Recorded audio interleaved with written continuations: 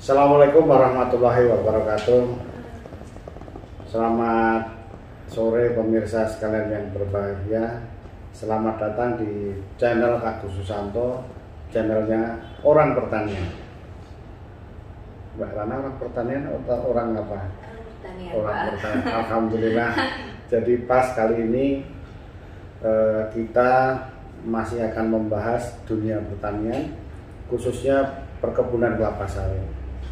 Nah, dalam perkebunan kelapa sawit ini tentunya untuk eh, khususnya petani itu syarat untuk produktivitas tinggi adalah tanahnya yang subur.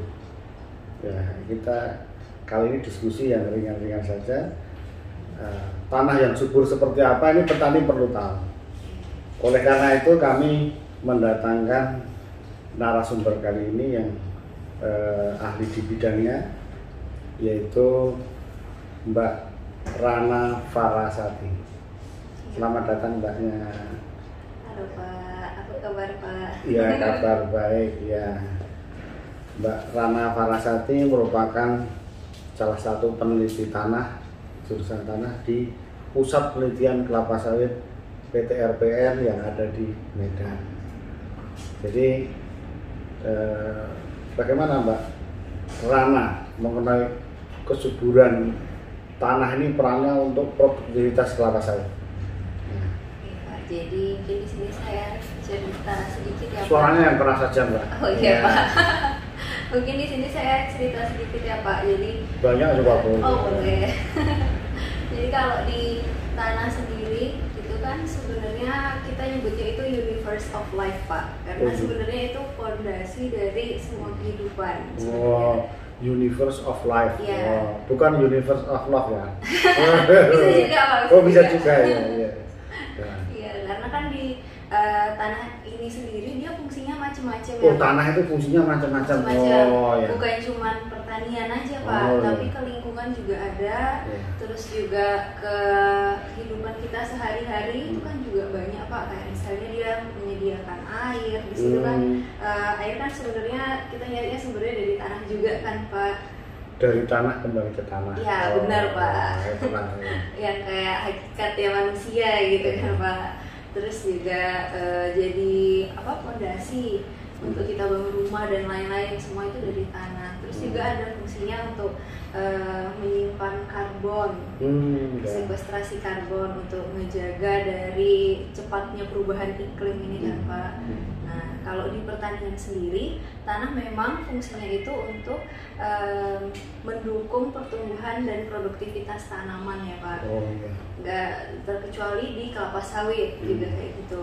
Nah, kualitas tanah ini kan macam-macam Pak. Hmm, ya. Eh, aslinya kan kalau misalnya kita tuh sering dikaitkan misalnya dengan tanah-tanah yang dulunya itu hutan Iya. terus habis itu berubah menjadi misalnya perumahan dan fungsi-fungsi lainnya alih fungsi lainnya biasanya kan itu kualitasnya ada perubahannya juga tuh pak Iya. termasuk ketika dia dirubah ke pertanian pasti ada beberapa yang berubah kualitasnya nah eh, dari sistem pertaniannya ini kan kita ingin ngejaga biar tanahnya itu tetap berkualitas sama dengan yang awal pak yang subur itu misalnya Iya. di hutan itu kan pasti dikaitkan iya tanah hutan itu Iya. subur subur gitu Eh, biasanya itu dibilang kayak warnanya hitam itu berarti subur gitu Iya. kan pak Berarti yang hitam yang dicari.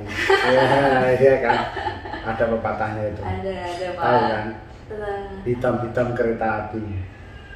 hitam Iya, biar hitam banyak yang menanti. Oh, bisa, bisa, itu. bisa. Jadi itu. Jadi nggak cerita tadi mengenai apa produktivitas tanahnya yang subur, pertanian ini kan apa khususnya kelapa sawit itu juga membutuhkan tanah yang subur kan, Mbak? iya iya pasti Iya. pak Jadi kalau cerita tanah yang su- subur tadi, masyarakat biar tahu. Makanya kan di dalam tanah itu kan harus ada kelas kesesuaian lahan. iya iya pak Kan itu kan tanahnya, kan di situ ada yang apa ya, showroomnya harus sekian, harus sekian sekian. Ya, makanya itulah ciri-ciri untuk yang tanah yang subur gimana ciri-cirinya? Untuk sawit ya Cirinya, hijaunya. kalau untuk sawit sebenarnya pak di sawit sendiri kita kan nggak harus tanah yang benar-benar subur kayak di pegunungan. Karena sawit ini kan bisa tumbuh di mana aja ya pak. Biasanya sih uh, tanah yang subur itu kalau indikasi biasanya yang di pertanian itu kan yang itu tadi pak. Warnanya hitam dia banyak cacingnya yang hmm. yang para petani itu lebih common lebih sehari harinya gampang dijumpai kan gitu pak sebenarnya tapi uh, bukan berarti tanah yang merah dan tanah-tanah uh, yang ada pasirnya itu nggak bisa dibikin subur gitu kan pak itu kan bisa juga gitu dengan cara nambahin si pupuk itu tadi oh, iya. gitu ya tapi kan itu parameter subur itu kan Macam-macam. biasanya kan gitu kan ya. oh suburnya dari segi dari segi apa namanya uh, kesuburan fisik kimiawi dan biologi ya kan hmm. kalau secara fisik subur itu gimana mbak Nah, jadi, jadi uh, benar yang Mbak bilang kalau kualitas tanah itu kan dilihat emang hmm. dari tiga sifat tanahnya itu tadi yang fisika, kimia sama biologi makanya dapat tanah yang sehat dan tanah yang hmm. subur. Hmm. Kalau dari fisik itu kita biasanya ngebedain dari teksturnya yeah. yang paling gampang. Misalnya dia itu banyak liatnya, oh. banyak pasirnya jadi jatuh yeah. gitu kan pak, yeah. atau dia debu. Debu ini sebenarnya bikin lebih licin tanahnya yeah. itu kan pak. Yeah kalau struktur itu nanti struktur, tekstur, ya kan, ya, ada struktur, konsistensi, ada tekstur, ya, oh, ada agregat tanah, agregat. Nanti kan itu tetap berkaitan dengan uh, fase tanah itu kan, ada padat, cair, komposisinya kan. Hmm. Nah itu, itu ya kan istilahnya nanti ada yang gembur, ada yang ya, ya, ya Pak. Nah kalau fisik memang kaitannya ke kedumburannya ya. itu iya. tadi. Biasanya kalau sawit sih lempung berliat Pak kita bilangnya. Jadi dia nggak terlalu yang uh, lihat yang sepadat itu karena kalau lihat kan gampang padat ya pak ya. Iya. tapi nggak juga pasir hmm. yang beneran pasir semua. Karena kalau pasir semua juga air langsung jatuh ke bawah. Yeah. pencucian haranya itu cepet gitu kan jatuh ya ke bawah lambat. Jatuh ke atas gimana mbak ya. Jatuh. sih pak. Iya betul. Masuk ke dalam. Iya kan? Iya, iya, nah, itu jadi yang kedua subur secara kimiawi yeah. yaitu tentunya yang dimaksud gimana itu?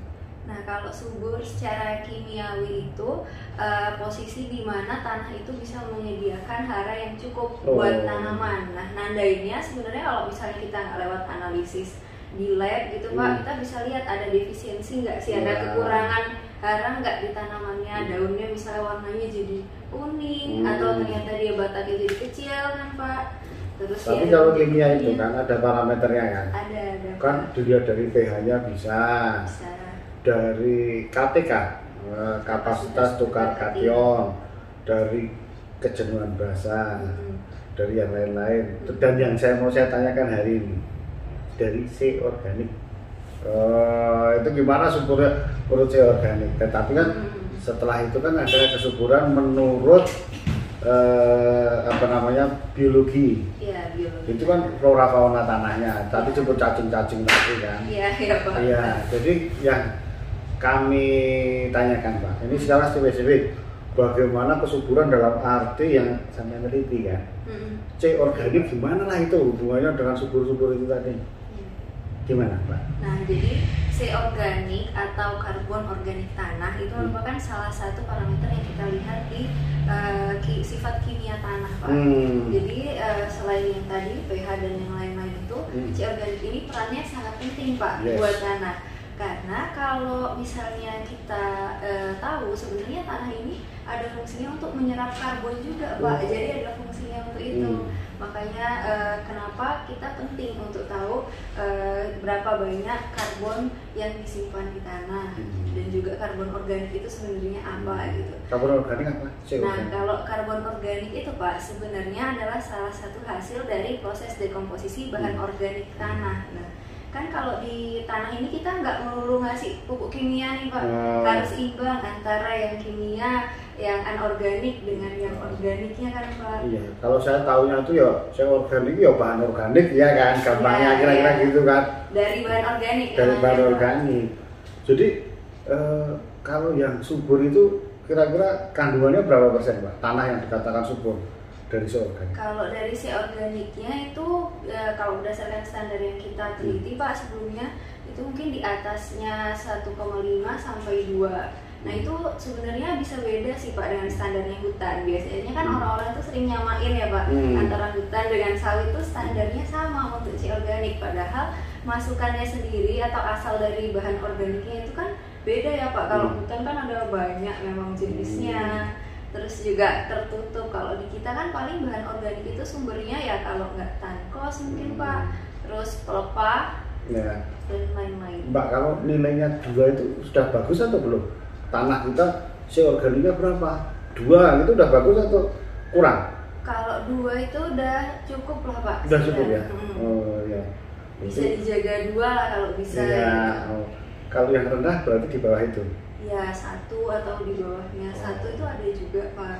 Itu cara mengukurnya gimana cara mengukurnya? Cara mengukurnya biasanya kita ngambil sampel tanah sih Pak. Hmm. Eh, ngambil sampel tanah di lahan itu kita bisa bebas milihnya di mana Hmm. tergantung kita pengen tahu kandungan C organik yang di mana Hmm. gitu. Atau di lab itu ya? Iya nanti kita analisisnya di lab gitu.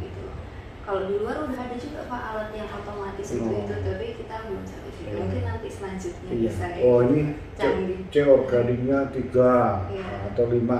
Karena gini dulu banyak orang mengatakan kalau kebun itu itu apa namanya C organiknya berapa? Oh sudah lima persen misalnya. Hmm. Wah ini udah bagus. Ini produktivitasnya bisa dicari. Oh ini pasti tinggi. Gitu. Iya. Jadi korelasinya gitu ya mbak. C semakin banyak C organiknya tinggi semakin subur gitu kan? Ya, jadi si C organik ini Pak kan dari eh, proses dekomposisi tadi sebenarnya kan dia juga ngasilin nitrogen, fosfor sama sulfur juga nih Pak Iya. buat tanaman selain C-nya ya Hmm. Pak, selain karbonnya itu. Nah, karbonnya ini sebenarnya berperan untuk eh, meningkatkan si KTK tadi Pak, Hmm. kapasitas tukar kation. Jadi itu semacam ilustrasinya tuh kayak tangannya Hmm. si eh, koloi tanah kita bilangnya Pak, partikel-partikel di tanah itu bisa menjerap lebih banyak hara jadi kayak kemungkinan haranya hilang Hmm. itu lebih rendah terus dia bisa fiksasi fosfor juga gitu jadi bisa tersedia karena banyak di tanah-tanah merah kita yang obisol itu terikat kan pak sama Hmm. aluminium makanya kenapa dia mupuk tapi kok kadang-kadang masih ada defisiensi Oh, iya. gitu itu juga pak Ini pertanyaan saya mbak. Mbaknya kan penelitian tentang C organik ya kan? Iya. Di Sumatera Utara khususnya itu kan nanam kelapa sawit sudah beberapa generasi. Hmm. 25 tahun ganti, 25 tahun ganti sampai 4 5 kali ini. iya Itu C organiknya meningkat atau menurun? Nah, eh, kalau misalnya dari penelitian saya yang kemarin kan saya ngambil time series 5 tahun ya Pak. Oh. Di lima tahun itu dari 25 kebun Pak, tanahnya itu tanah-tanah merah yang saya Hmm. pilih. Jadi memang ada yang naik, ada yang turun. Memang dia fluktuatif Pak Hmm. di lima tahun itu. Tapi eh, rata-rata itu kelasnya masih tergolong eh, ke agak rendah dan sedang Oh, gitu. Berapa nilainya kira-kira? Eh, sekitar paling tinggi itu 1,75 atau Padahal tadi dua Pak. udah batasnya termasuk rendah lah. 1,75 pak Iya. agak rendah sampai sedang Iya nggak usah takut bilang rendah aja. ada pak yang rendah Iya, ada. Pak Iya, berarti kan selama dipakai itu kan mestinya turun. Iya. Kan dieksploitasi Turun. terus ya kan? iya benar-benar pak Makanya kan sering jalan ngomong, wah ini kasih bahan organik itu kan bagus sekali untuk Iya. meningkatkan kesuburan tidak hanya unsur hara tadi, tapi juga tangan-tangannya untuk fisiknya, struktur tadi ya kan? Hmm. Betul kan? Eh, ya bisa dibilang gitu juga Hmm. karena dia bisa merekatkan yang si Iya. eh, struktur-struktur tadi Tapi Pak ada juga nih Pak penelitian orang Malaysia sama dari em, mana ya Norwegia kalau nggak Hmm. salah Pak. Jadi dia itu mengkaji di eh, perbedaan umur tanaman. Hmm. Jadi kalau dari hasil penelitian dia ternyata kelapa sawit itu kalau misalnya yang muda sampai yang ketua ternyata itu karbon organiknya tambah tinggi Pak karbon organik tanahnya. Hmm. Misalnya nih umur masih eh, 10 tahun sama yang udah 25 tahun mau replanting ternyata tuh makin meningkat Ya, gitu. kalau saya saya pahami ngerti saya. Karena apa tiap tahun dia kan kelepahnya jatuh ke situ Iya. kan ibu pasti organiknya naik. Benar, Apalagi ditambah terus. Hmm. Yang muda kan belum ditambah kan gitu. Ini kan namanya apa? Mengambil kesimpulan cepat. Hmm. Eh, jadi bahwa ini laptop ini mau untuk apa? mau lihat data tadi Pak kalau lupa Oh. Ternyata udah hafal ya. Jadi nggak usah lah ya. ya. Oke pemirsa, terima kasih bincang-bincang kita mengenai kesuburan tanah yang kaitannya dengan eh, si organik. Bagaimana eh, cara menaikkannya tadi tidak hanya unsurnya tapi juga berbagai macam jalannya tadi. Bersama kita tadi Oh iya, Mbak Rama Farasati Pak. apa lagi Jadi si organik itu juga makanan yang mikroorganisme pak, Oh, yang bakteri, iya. jamur dan lain-lain. Jadi otomatis itu tanahnya bisa lebih sehat kalau si Iya. organik kan lebih tinggi. berarti kena lagi kan jadi kan gini ber- berkaitan tadi kesuburan yang fisik kimia sama biologi Biologi, Pak. jadi ini yang dikasih yang C organik itu sebenarnya kimia tapi fisiknya juga bagus. Biologinya, biologinya juga bagus. Ngomongnya mau gitu kan? Iya. iya terima kasih sudah kita simpulkan eh, bareng-bareng bersama kita eh, Mbak Rana Farasati. Terima kasih sampai jumpa lagi di acara yang sama. Assalamualaikum warahmatullahi wabarakatuh